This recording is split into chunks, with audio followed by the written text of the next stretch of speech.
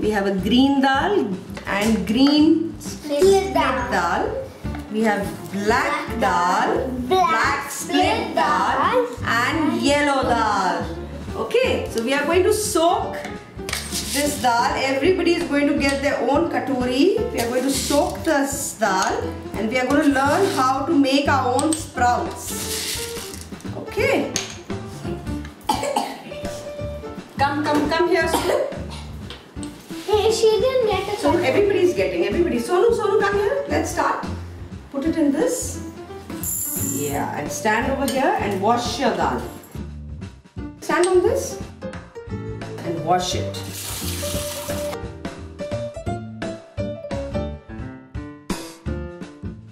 Very good. Good. Okay, we've washed it and we're putting it in this. Okay, next, come.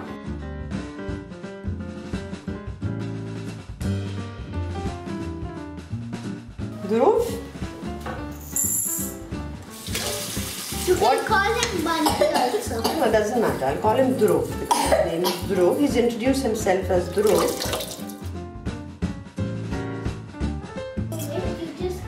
So we have soaked this dal, Sia.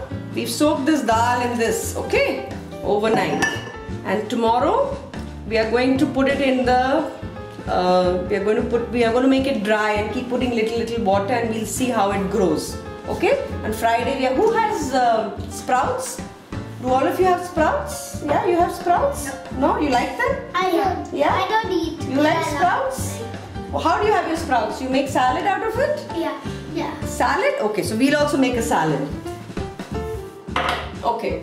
Now can we do a art with our dal? Somebody wants to do any art? Me. Uh, let's see what's happened of our sprouts. Wow! Look at the sprouts.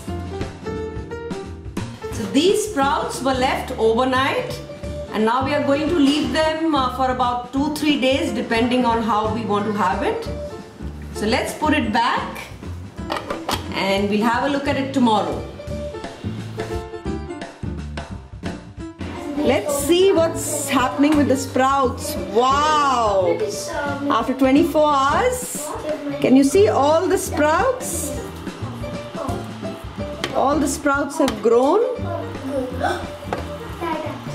and we want to grow them further. We can just leave it for another 24 hours and then we can make a lot of things out of it. Will you change if you No. keep it for long? No, I'll leave it like It'll be like this only. Yeah, yeah. Our sprouts are completely ready. We can serve it the way we like it. We can just add salt and lemon or we can add it with a, other different salads.